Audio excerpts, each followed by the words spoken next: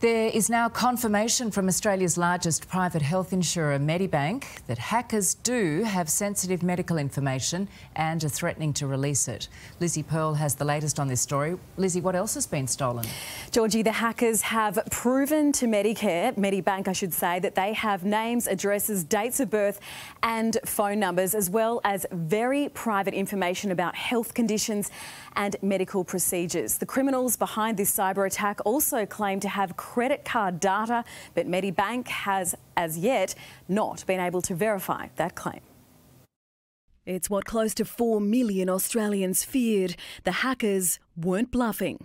The threat that is being made here to make the private personal health information of Australians made available to the public is a dog act. Medibank says the criminals who hacked its database have now shared proof 100 data samples believed to be from customers of Medibank's subsidiary AHM and international students. There's also a ransom note offering to start negotiations threatening to sell your database to third parties, singling out 1,000 media persons, politicians, actors, LGBT activists, drug addictive people.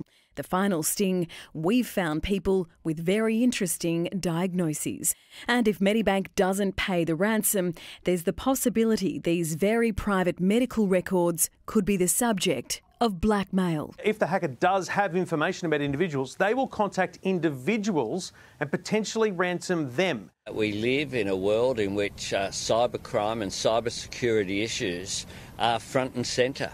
Uh, businesses have to be very conscious of it. Cyber experts say even with the very best security, encryption, and software, systems can still be breached. It doesn't mean it's impossible, but it does mean that um, kind of a normal criminal probably would not be able to do it that easily. The toughest and smartest people in the Australian government are working directly with Medibank to try to ensure that this horrendous criminal act does not turn into what could be irreparable harm. Medibank has apologised. Its shares remain in a trading halt. Lizzie Pearl, Nine News.